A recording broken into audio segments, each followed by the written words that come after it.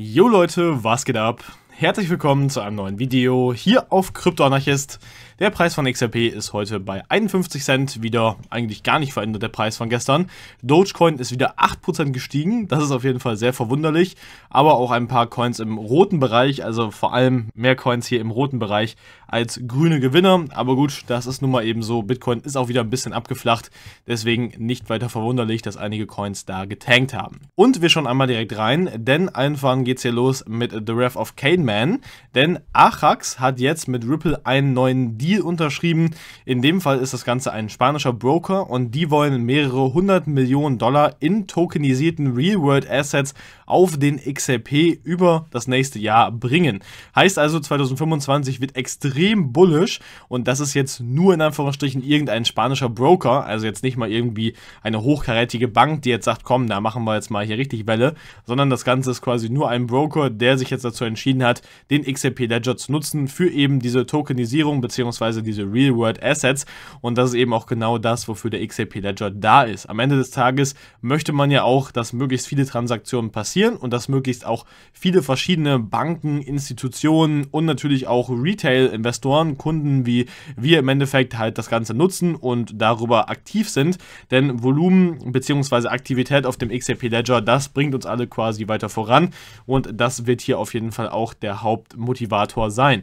Deswegen hier super spannende News, wenn wer nochmal mehr Informationen dazu haben möchte, findet hier auf Ledger Insights nochmal den ganzen Artikel dazu und kann sich natürlich gerne nochmal in diese einzelnen Thematiken hier reinlesen, wie viel Geld genau bis wann jetzt nochmal so auf dem Spiel steht. Aber 2025 wird auf jeden Fall ein mega bullisches Jahr und ich denke auch in diesem Jahr ist schon einiges passiert, wenn man sich jetzt mal anschaut, wo wir am 1.1. diesen Jahres standen und wo wir jetzt eben schon sind.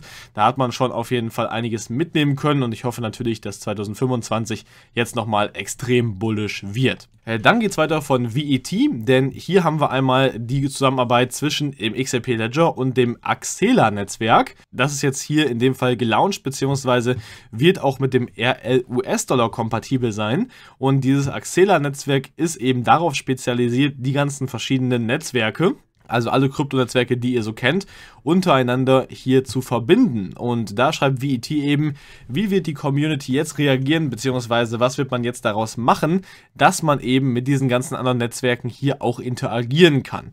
Darunter sind sehr bekannte Netzwerke, das Ethereum-Netzwerk, AVAX, BNB oder auch Optimism, Polygon und so weiter, das kennt ihr natürlich alle. Aber es gibt eben auch sehr unbekannte Netzwerke, die jetzt vielleicht noch gar keine so große Rolle gespielt haben.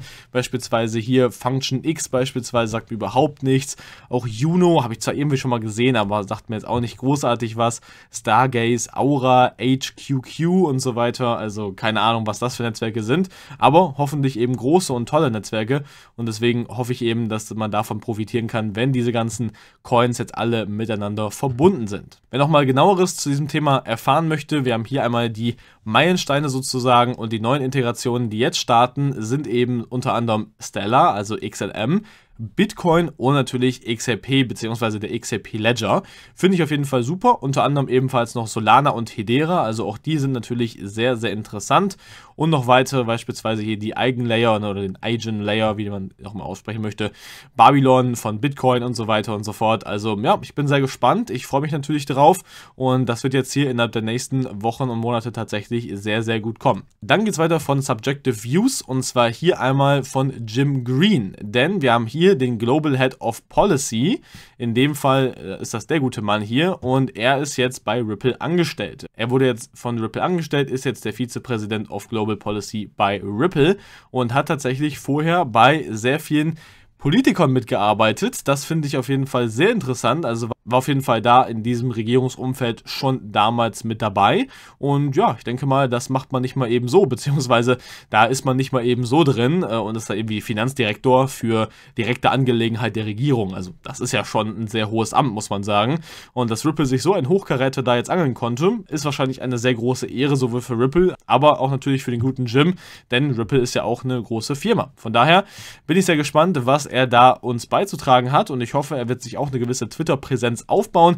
Ich finde das nämlich immer ganz schön, wie Stuart Alterodi das auch immer hier auf Twitter postet, die ganzen Updates gibt und da jetzt eben hier Global Policy at Ripple Vizepräsident ist, ne, ist er natürlich jetzt auch in der Verantwortung, uns als Community ein bisschen zu informieren, was in dem Bereich Policy und so weiter bei Ripple auch abgeht.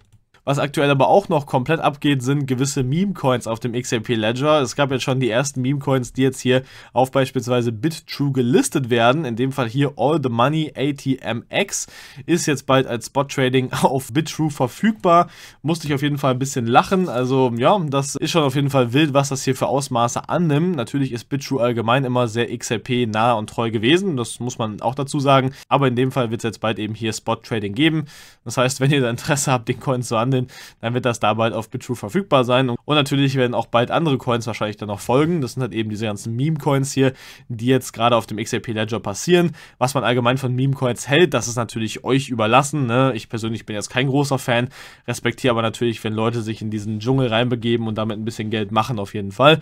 Aber trotzdem muss man sagen, ne, immer mit Vorsicht genießen. Ne? Ihr wisst, ist ein Spiel mit dem Feuer, da sollte man auf jeden Fall aufpassen. Und apropos Listing und so weiter, wir haben hier von Brian Armstrong einmal ein Coin Coinbase-Bashing sozusagen, denn Justin Sun antwortet auf einen Tweet von Brian Armstrong. Brian Armstrong sagt dann hier, das Listing auf Coinbase ist immer free, also niemand bezahlt dafür irgendwas. Wir listen alle Coins, die wir irgendwie für gut und sinnvoll in dem Fall halten.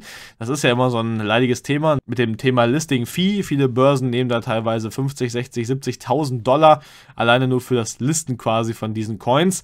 Ja, das äh, ist auf jeden Fall sehr, sehr kritisch teilweise. Und erstmal ist diese Aussage natürlich ziemlich schön, dass sie sagen, eigentlich listen wir die ganzen Coins for free.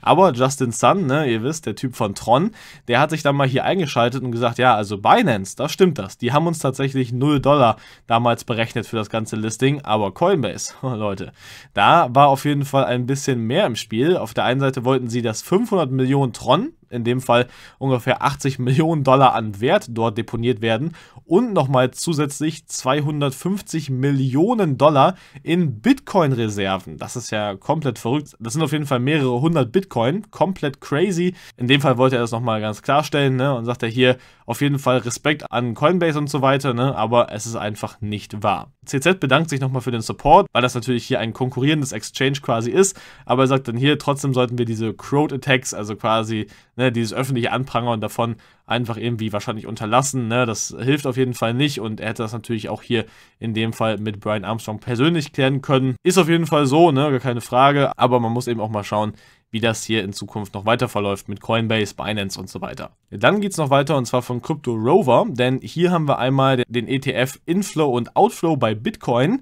und wir hatten ja die letzten zwei Tage jetzt hier einen sehr, sehr großen Inflow, teilweise 700, 800 Millionen Dollar an einem Tag und jetzt hatten wir tatsächlich den zweitgrößten Outflow, also Abfluss quasi, den es eigentlich jemals gab und zwar 540 Millionen Dollar, die da abverkauft und rausgeflossen sind. Jetzt kann man natürlich sagen, oh, das ist alles sehr, sehr dramatisch, aber aus meiner Sicht, und das ist jetzt eigentlich nochmal so eine subjektive Einschätzung, sind wir eigentlich good to go. In dem Fall, dass der Bitcoin-Preis natürlich nach wie vor sehr, sehr hoch ist. Wir sind knapp bei 69.000 Dollar. Das heißt also auch mit diesen 500 Millionen weniger, die jetzt aus den ETFs geflossen sind, sind wir immer noch bei super hohen Preisen. Man darf nicht vergessen, damals hat Bitcoin ja auch sein Allzeithoch permanent geknackt, auch ohne irgendwelche ETFs und so weiter. Das heißt also, diese ETFs sind ja im Zweifelsfall eher nur noch positiv dazu zu rechnen und nicht jetzt irgendwie eine große Gefahr, wo man sagt, oh, die werden jetzt in den Preis irgendwie runterdampen auf 10.000 Dollar pro Coin oder sowas halt. Deswegen würde ich mir da überhaupt keine Sorgen machen. Natürlich lohnt es sich immer, diese Statistiken zu betrachten, aber ihr seht schon, an einem Tag kann es mal extrem runtergehen, aber es kann auch wieder Tage geben, in denen der Preis dann halt massiv hier ansteigt. Kurz zwischendurch, aktuell läuft ein sehr interessanter Presale und zwar von dem Pepe Meme. Das Ganze ist hier auf der Webseite pepememe.io und dort kann man gerade deren Presale begutachten.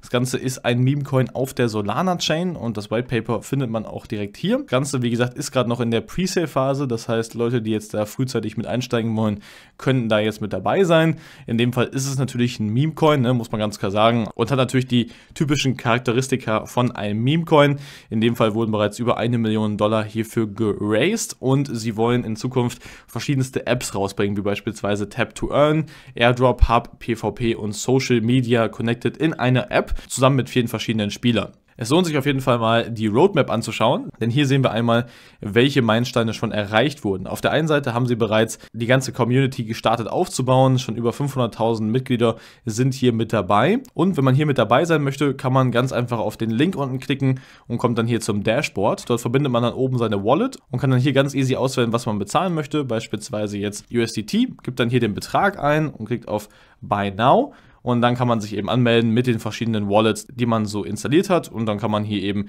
mit dabei sein. Insgesamt wollen sie 24 Millionen Dollar raisen, das sehen wir dann hier einmal und der Return of Investment Calculator ist dann hier ebenfalls mit dabei. Sagen wir also mal, wenn man so viele Coins jetzt hat, kann man natürlich dann hier entsprechend den Kalkulator anschmeißen und dann gucken, wie viel Dollar man damit dann verdient. Alles weitere findet ihr auch auf der Website einmal verlinkt und jetzt geht's weiter mit dem Video. Und bevor wir noch zu einer ganz, ganz seltsamen Story kommen, habe ich hier noch einmal die Liquidität aufgelistet. Also also die Bitcoin-Liquidität, wann, wo, wie viel Geld liegt. Und wie gesagt, meine Prediction wäre definitiv, dass man sich nochmal diese Liquidität holt. Die müsste ungefähr bei 67.000 ziemlich genau nochmal sein. Das heißt, da wird es wahrscheinlich nochmal hindroppen und dann könnte man sich eben hier nach oben hin schön die Liquidität snacken bei 71.000, 72.000 so ungefähr. Das ist eigentlich hier so, wie man aktuell am meisten Geld machen kann. Heißt natürlich nicht, dass das jetzt immer richtig ist oder sowas, aber ich glaube einfach schon, dass das ein realistisches Movement ist. Schreibt mir gerne mal eure Meinung dazu in die Kommentare, ob das hier äh, aus eurer Sicht auch sinnvoll ist. Aber ich glaube, das kann man schon recht gut antizipieren, dass hier zwei sehr große Magnete quasi sind. Und ich hätte ja gesagt, wir haben jetzt noch eine ganz seltsame Story, denn tatsächlich haben wir hier eine Bank, eine Weltbank tatsächlich. Und äh, die hat auf einmal gesagt, ah, Leute, ne, wir haben da ein bisschen Geld verloren, das tut uns auf jeden Fall leid. In dem Fall 24 Milliarden Dollar. und dann haben sie gesagt, ja, ne, also sorry nochmal, ne, wollen wir uns auch mal für entschuldigen. Ähm, aber wir finden die einfach nicht wieder, wir wissen nicht, wo die sind. So in der Form. Ne?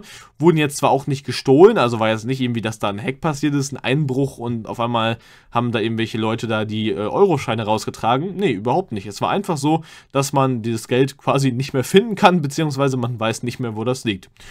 Ja, also so kann es auf jeden Fall auch laufen. Hört sich natürlich immer skurril an, ist aber in dem Fall Realität. Und ja, man hat hier einfach gesagt, wir haben das Geld verloren. Ne? Und äh, auch wenn es jetzt keine europäische Bank oder sowas halt hier ist, aber äh, ich würde auf jeden Fall aufpassen, weil ganz ehrlich, ne, Banken können auch auf einmal das Geld verlieren und dann sagen, oh, tut uns ja leid, aber ähm, oh, wir haben kein Geld und das finden wir auch nicht wieder und dann habt ihr euer Geld verloren. Also das mal nur so nebenbei. Haben wir natürlich wie immer noch einen Fun-Tweet und zwar hier von Wall Street Bets und zwar das große Aufeinandertreffen links Bitcoin, rechts Ethereum, ne? zwei große Physiker quasi, die sich unterhalten und dann in der Mitte ne, Solana mit freshem Outfit und so ein bisschen, ja, man könnte schon fast sagen, fehl am Platz.